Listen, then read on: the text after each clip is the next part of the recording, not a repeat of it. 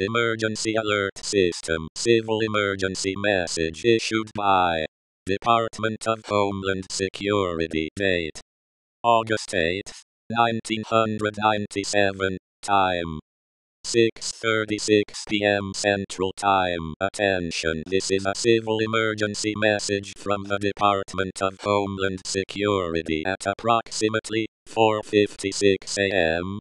A massive security breach was detected at the Spectral Anomaly Society Research Facility. This breach has resulted in the release of several high-risk anomalies, which are now causing severe paranormal disturbances. Urgent action required. Stay indoors.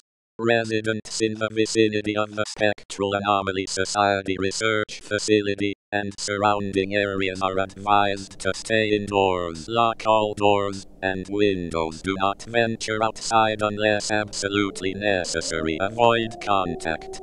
Avoid any contact with unexplained phenomena. If you witness any unusual occurrences or beings, do not approach. Instead, report immediately to local authorities. Emergency supplies.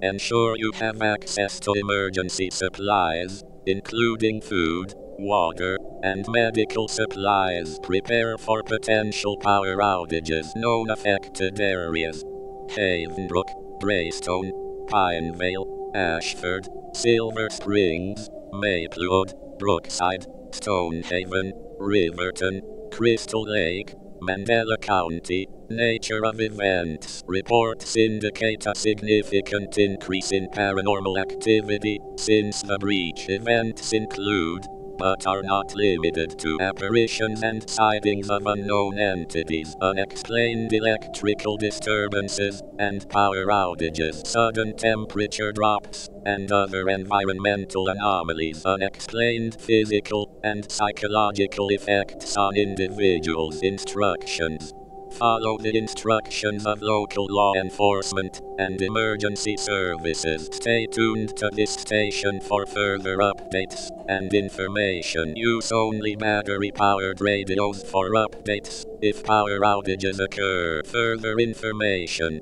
This message will be updated as more information becomes available. The Department of Homeland Security is working in coordination with local, state, and federal authorities to address the situation and ensure public safety. End of message Department of Homeland Security.